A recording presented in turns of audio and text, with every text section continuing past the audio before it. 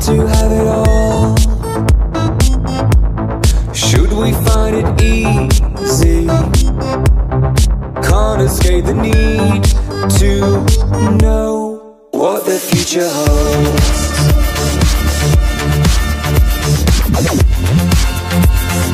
Waiting for the stars to align